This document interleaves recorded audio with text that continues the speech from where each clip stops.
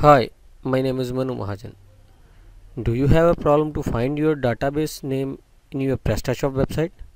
I have a simple solution for this. Follow these steps to find your database name in your PrestaShop website.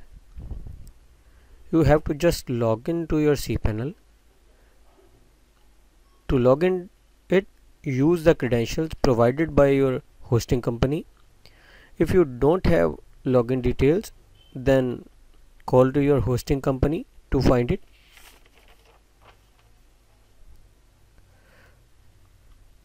Log into cpanel using the login credentials.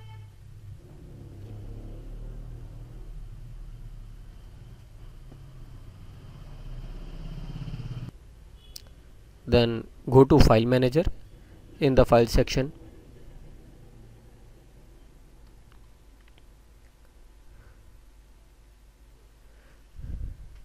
click on public underscore html this is the folder where you found uh, which is the root folder of your PrestaShop website.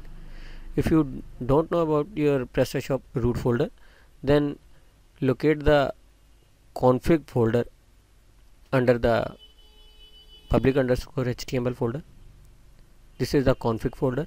Double click on it to open it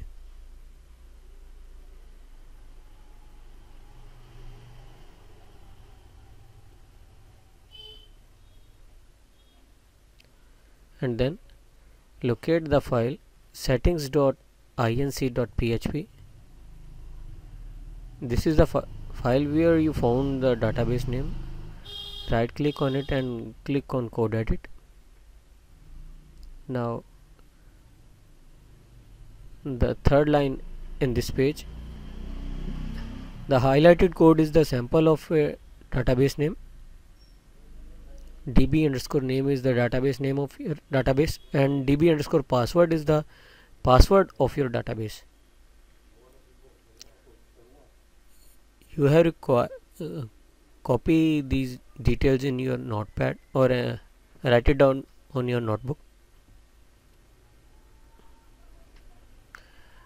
And use the database details to create a backup or update your database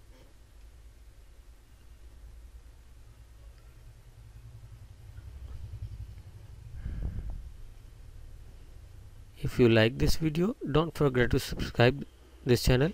But if you don't like this video please tell me your suggestion by writing in the following comment box. Thank you friends again